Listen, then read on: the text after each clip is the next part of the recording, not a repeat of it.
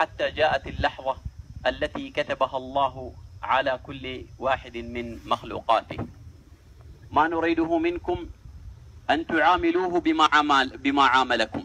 قال رسول الله صلى الله عليه وآله وسلم إذا مات ابن آدم انقطع عمله إلا من ثلاث صدقة جارية أو علم نافع أو ولد صالح يدعو له. فلنكن له كلنا ذلك الولد الذي يدعو له لا سيما في جنح الليل البهيم عندما تستيقظون في الأسحار وعندما تستغفرون كانوا قليلا من الليل ما يهجعون وبالأسحار هم يستغفرون. والأمر الثاني أن الله سبحانه وتعالى يتجاوز عن عباده حقوقه هو.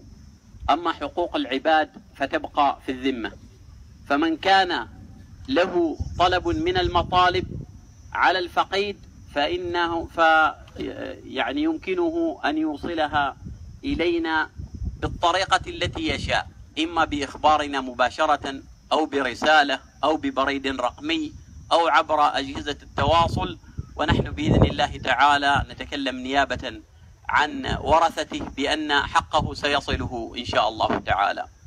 والأمر الثالث العزاء سيكون في مسجد الإمام سالم بن راشد الخروصي رحمه الله تعالى آه، في الحيل اليوم الثلاثاء وغدا الأربعاء وبعد غد يوم الخميس إلى أن آه، تغرب الشمس.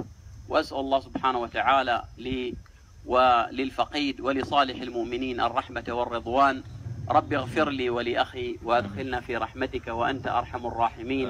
اللهم هذا عبدك ابن عبدك ابن أمتك. توفيته وأبقيتنا بعده.